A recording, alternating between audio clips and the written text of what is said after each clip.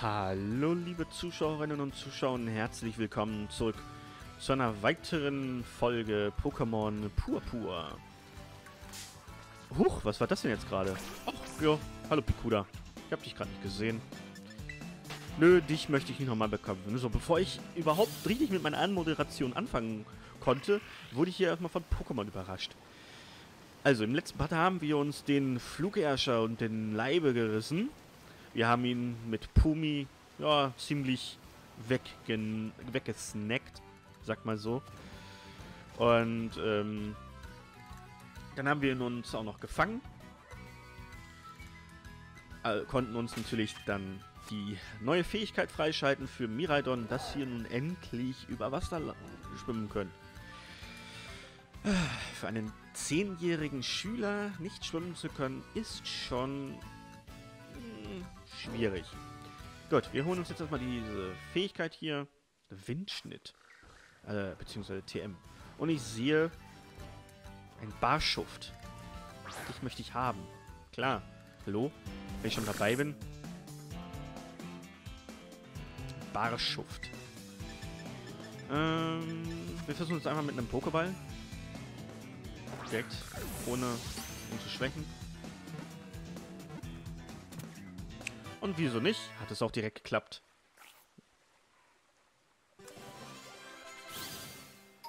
Kroko Makroko ist Level 23. Barschuft. Äh, ja, warte mal. Nennen wir dich einfach Schufti. Du bist ein Schuft. Oder einfach nur Schuft, Schufti, Schuft. Dann machen wir Schufti. So. In eine Box. Ich glaube, jetzt können wir auch mal wieder unsere Pokédex... Huch, nein, ich wollte nicht runterfallen. Äh, da hoch da. Du kannst nicht klettern, ne? Ich weiß, hör auf zu... auf sich zu beschweren. Aber hier hoch. Auch nicht? Geht nicht? Oh ja, doch. Wunderbar. Äh, wir wollen mal eben meinen Pokédex gucken.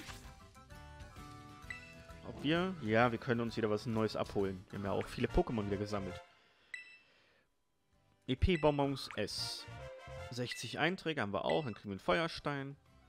Und als nächstes kriegen wir 10 Netzbälle, wenn wir 9 weitere Pokémon fangen. Also insgesamt 70 Einträge. Oh, wir haben schon fast 70 Pokémon gefangen.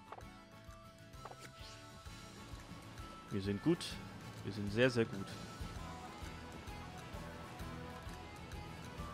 So, ne, ich sehe ein Flatutu, ich sehe ein Pampuli. Ein Item. Funpikralle. Ein Wuffels. Ein Beleber. Mehikel haben wir auch schon. Was ist denn hier spinst? Wie viele Münzen gibst du mir? Eine Münze. Wunderbar. Supertrank. Ach, wollte das Mehikel einfach mal sagen. Ja, guten Tag. Äh, kicken wir es einfach mal weg. Egelsamen. Du willst dich also heilen.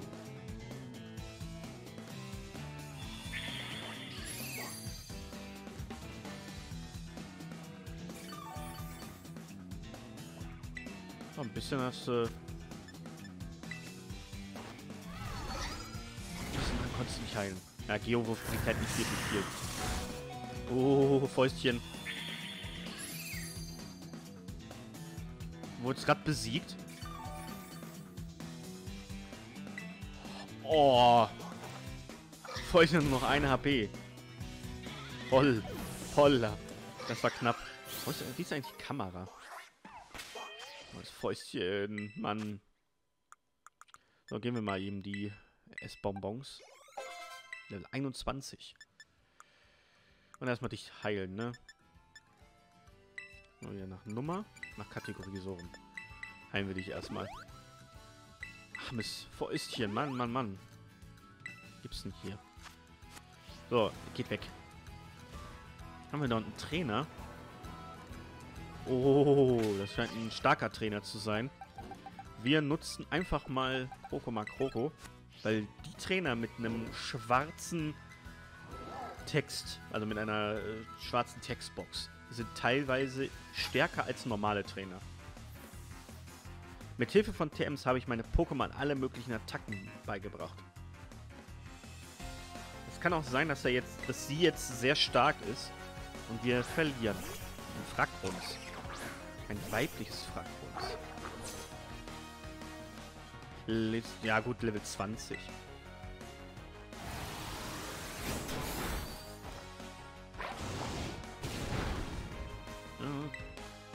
nichts ab. Na, mach mal bis.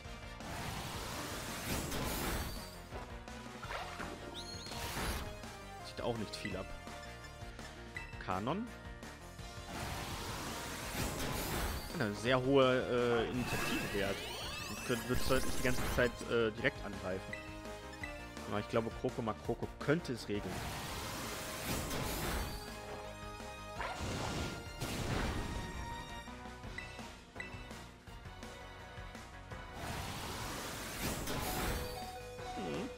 Oh nee. Ja gut. Tut mir leid. Mache ich ungern. Aber ich muss mir einen Supertrank reinwerfen.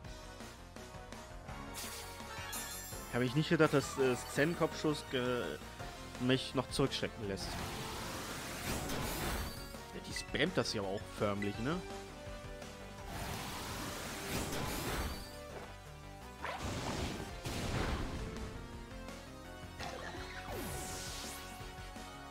Sollte sich nicht immer auf eine Attacke konzentrieren.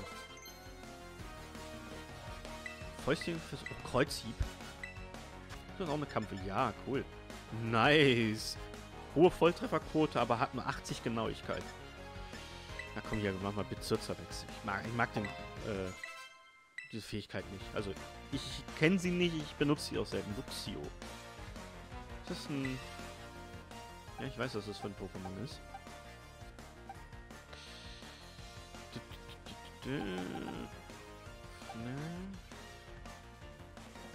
Ich glaube, wir bleiben jetzt einfach mal...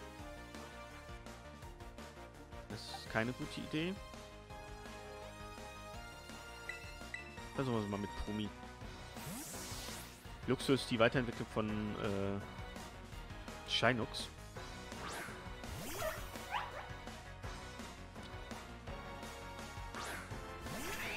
Ja, dachte ich mir.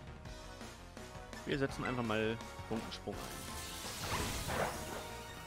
Das ist sehr effektiv, okay? Au, shit. Oh, kann Psychoattacken.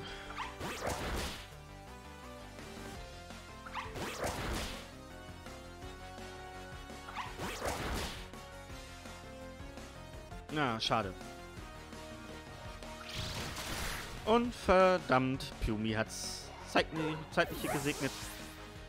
Habe ich nicht verge äh, habe ich total vergessen, dass es in äh, Kamen und Puppe sowas gibt wie kein Typenunterschied. Nein, das ist nicht das, was ich meine. Keine Sorge, ich, ich will jetzt nicht sagen, dass ich keine Ahnung von dem Spiel habe. Es ist egal, jedes Pokémon ist hier in dem Spiel, kann jede Attacke lernen. Nein, so in dem Fall. Also es ist halt vom Typ Elektro, aber es kann eine physische Psychoattacke. Das wundert mich halt an vielen Pokémon. Ich kann ja mal gucken, vielleicht vertue ich mich ja auch. Also, bitte versucht mich nicht in den Kommentaren zu haten. Ich muss noch stärkere TMs herstellen. Ne, das, war ein, das war mal ein Kampf, der sich sehen lassen. So, ich wollte in den Pokédex gucken. Ich wollte mir... Äh... Schauen wir mal, ob wir hier irgendwo finden. Wird ein bisschen dauern. Genau, Luxio.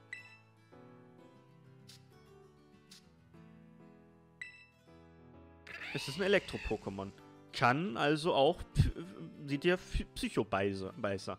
Ja, da es sich hierbei um ein physisches äh, Elektro-Pokémon handelt, also da die Psycho, äh, Quatsch, physisches, also das heißt die physischen Attacken stärker sind als normal, als die, glaube ich, ähm, äh, Spezialattacken, benutzt es halt auch Psychobeißer. Und Psychobeißer ist eine, äh, eben halt eine Attacke vom Psy Typ Psycho. Und da es, glaube ich, physisch ist, kann es es erlernen. Müsste ich mal, mal Expertenfrage, warum, wie. Ach so, stimmt ja.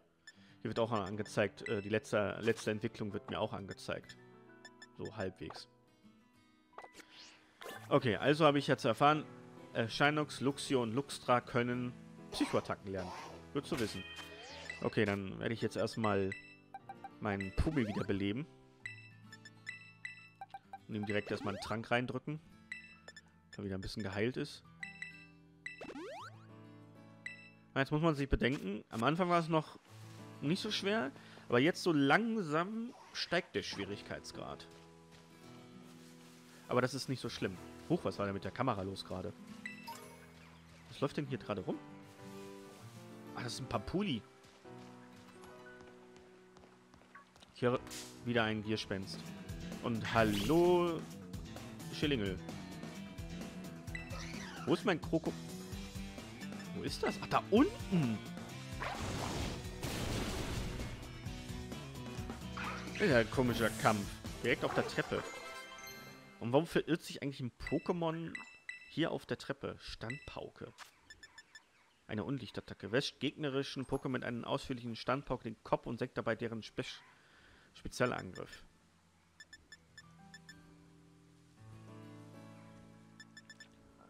Nö, dann lieber nicht. Möchte ich nicht.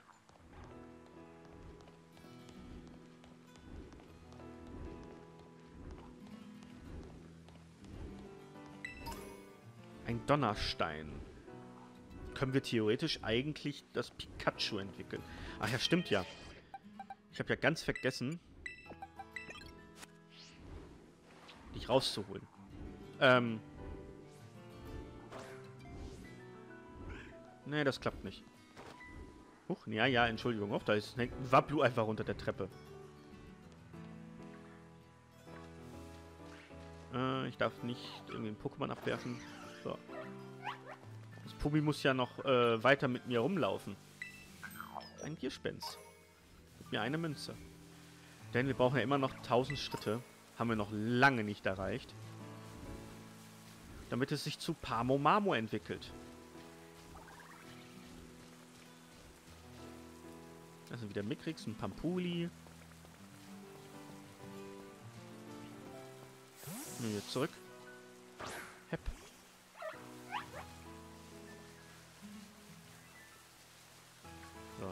Wir mal hier. Und ich denke auch, dass wir die Raids hier noch mitnehmen, um XP-Bonbons abzugreifen. Was ist mit dir los, Nebulak? Warum machst du so komische Geräusche?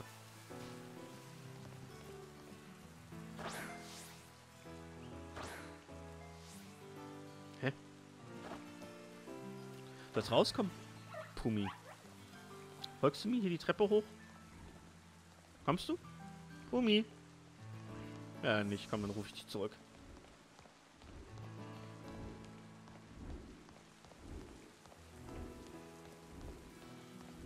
Was haben wir denn hier Schönes? Rückenwind. Schon interessant, was man hier alles findet. Nebulak.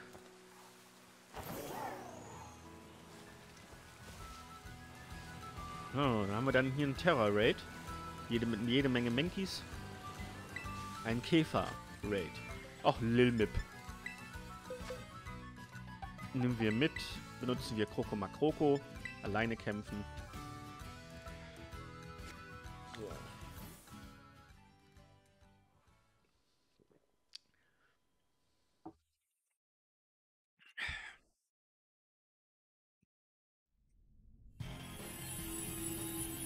Ich sag mal, diese Raids nehme ich mit, weil die geben EP-Bonbons und die EP-Bonbons können wir gebrauchen. Wenn wir an einer bestimmten Stelle sind, schalten wir auch später noch 3 und 4 Sterne frei. Die 5 Sterne werden dann wahrscheinlich nach dem Durchspielen freigeschaltet. Zweimal Bedroher bekommen? Ich glaube, das können wir jetzt einfach mit einem Schlag. Ja, es wird gut weggeholzt. Ach, das ist nicht Lil mit gewesen. Gott, habe ich mich ver, äh, ver, vertan.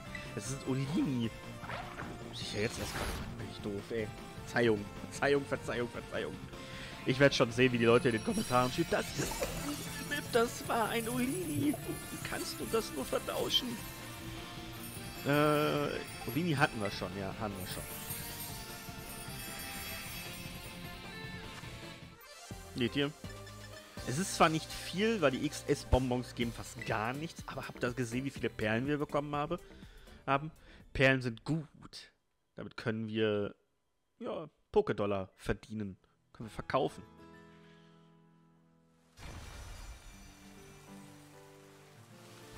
So, der nächste Raid ist auf der anderen Seite. Das ist ein Käfer.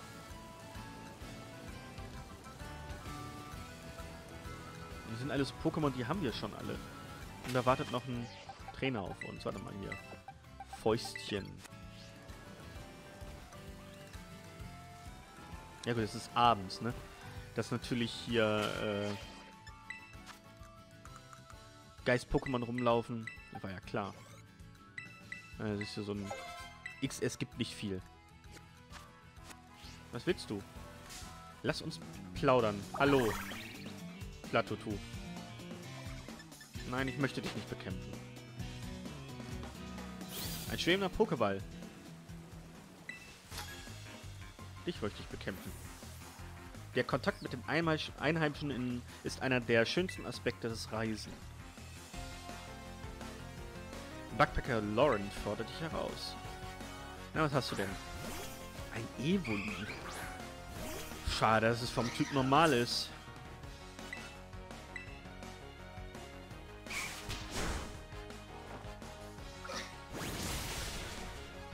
Oh, yeah. Evoli einfach mal gewonnen. Hittet, äh. Oh, das war's schon. Schade. Das war mal ein reger Austausch. Ja, das ging fix. Ich finde es halt schade, dass hier nur noch Pokémon kommen, die wir schon haben. Ein Käfer-Mauzi? Wir haben Mauzi noch nicht, oder? Schauen wir mal. Ich glaube, wir haben Mauzi noch nicht. Wenn wir schon 70 Pokémon, also fast 70 Pokémon haben, jetzt haben wir erst nur zwei, fast zwei Boxen erst. Äh, wir haben Mauzi noch nicht. Ja, wir, haben, wir haben uns einfach einen Kanto-Mauzi. Warum auch immer. Geil. Äh, Quatsch, nicht warum auch immer, sondern warum auch nicht. Wir schon die Möglichkeit haben, alleine kämpfen. Ein Mauzi ist ein Typ Normal-Pokémon und hat noch den Terra-Typ Käfer. Interessant.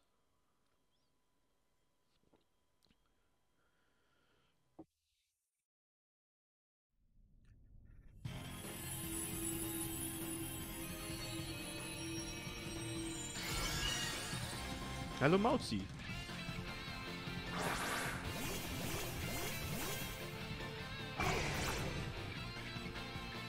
Also auch Magnetilo, ich will auch Magnetilo gerne haben.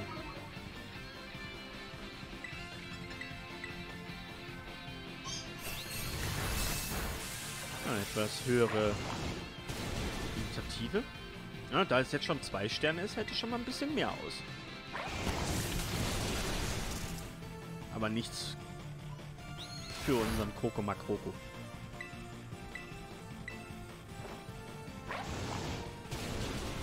Und da haben wir Mauzi besiegt. Schon interessant mit äh, Terratyp Käfer.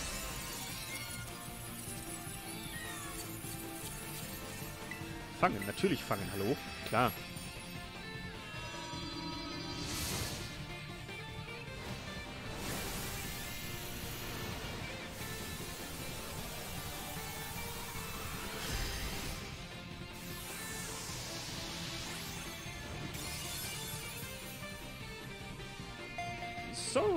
Haben wir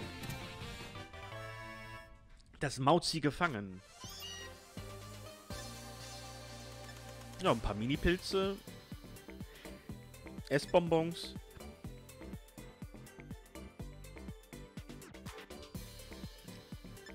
Und ein paar Beeren. Eine Flinkfeder geht auch noch. Ist auch gut so. Kann man auch gut gebrauchen.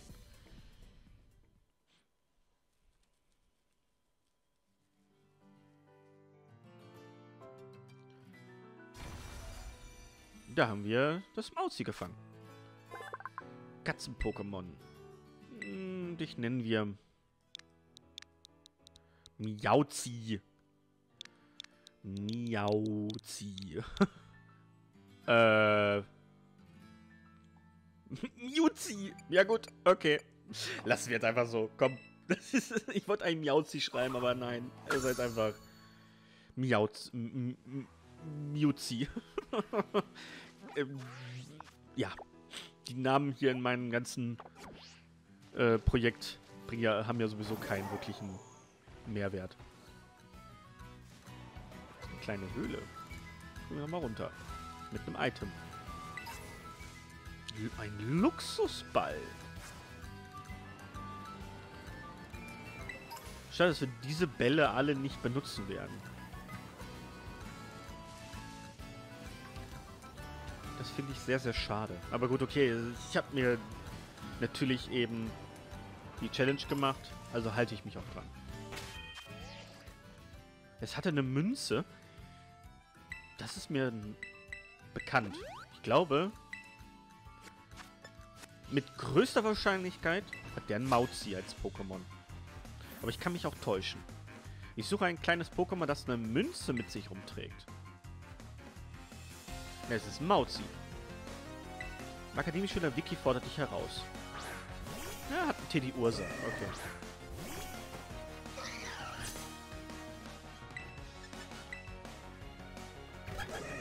Kulleraugen. Angriff von Fäustchen sinkt.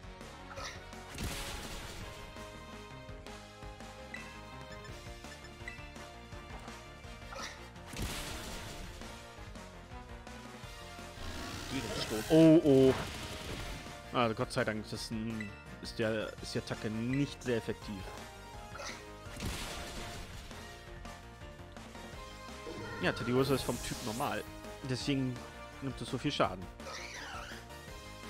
Ein Forgita, auch ein Kampf-Pokémon. Ist das ein, das ein Kampf-Pokémon, oder? Äh, da, da, da, das ist die Frage. Das ist die Frage, Frage, Frage. Frage, gute Frage, nächste Frage. Welches Pokémon nehmen wir? Äh,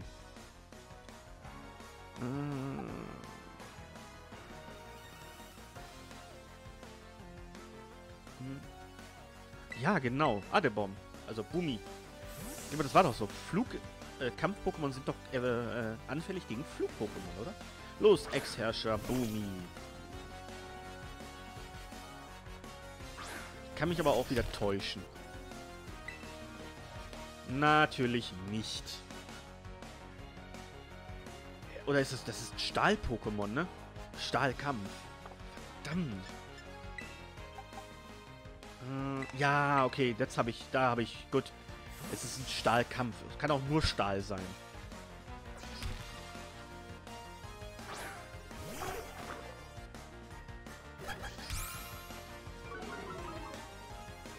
Das bringt nichts, weil mein Einäschern ist eine Spezialattacke.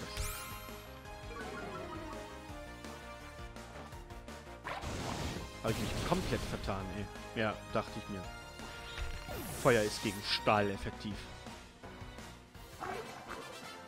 Ja, seht ihr, ich bin nicht allwissend, was Pokémon angeht. Ich, ich spiele es zwar wieder aktiver seit ein paar Monaten, aber ich habe teilweise immer noch große Probleme, die Typen zu unterscheiden. So, wir haben doch, glaube ich, einen Forgita haben wir, glaube ich, schon, ne? Ja, wir haben einen Forgita. Fee-Stahl. Dachte ich mir. Also nicht Kampf, sondern Fee-Stahl. Okay. Also habe ich mich komplett vertan. Sicher ein nächstes Pokémon Center. Und da ist auch schon die Team Star Basis. Die machen wir aber dann, denke ich, im nächsten Part, weil ich sehe gerade, der Part ist schon fast wieder zu Ende. Wir gehen jetzt also erstmal zum Pokémon Center. Das Spiel macht, mir auch, macht mich aber auch darauf äh, aufmerksam, ne? Dass dort jede Menge Mankis sind, heißt also, benutzen Mankey. Dann wirst du es schaffen. Ich spreche jetzt nochmal mit dir, ne? Hast du Spaß am Kämpfen? Hallo, ich bin von der Pokémon-Liga. Hast du Spaß am Kämpfen? Du hast in der westlichen Zone 1 gegen 10 Trainer gewonnen. Dafür bekommst du von der Pokémon-Liga diesen fantastischen Preis. Neura Neutralschmuck. Gib mal dieses glänzende Item einem Pokémon zu tragen, können dessen Statuswerte nicht durch Attacken oder Fähigkeiten anderer Pokémon gesenkt werden. Wir veranstalten diese Aktion auch in anderen Gebieten, also schau auch gerne dort vorbei. Das klingt sehr gut. Dann brauche ich mir keine Angst haben. Dann gebe ich einfach meinem Menki das. Damit es nicht von Unlichtattacken die Initiative geschwächt bekommt oder so. Pokémon heilen.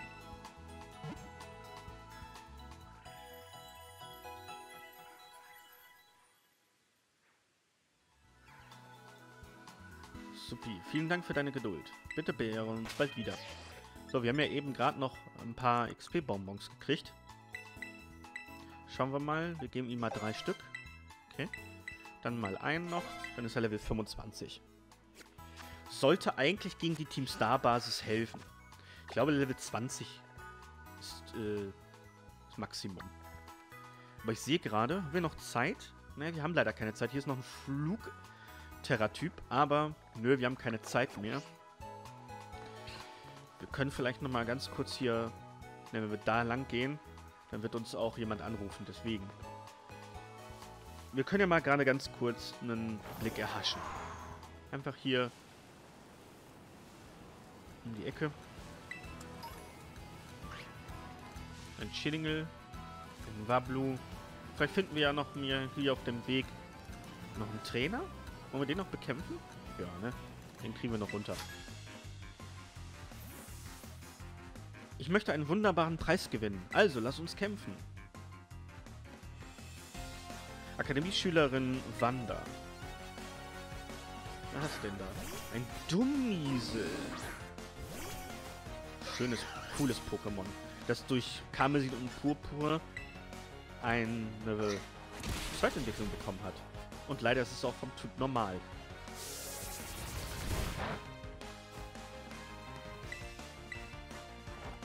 Denn ein Dummiesel hat die Entwicklung Dummimiesel bekommen.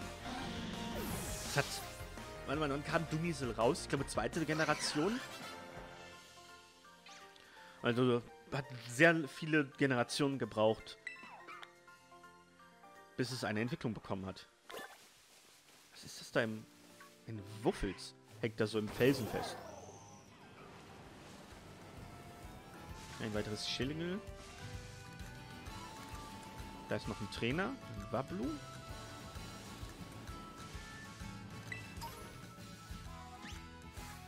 Bonzel haben wir schon. Oh, was ist das Schönes? Komm, das, das fangen wir uns noch in diesem Part. Aha. Ein Legios. Ein Legions-Pokémon. Auch ein cooles Pokémon. Hat also einen Pokéball geschafft. Versuchen wir es nochmal.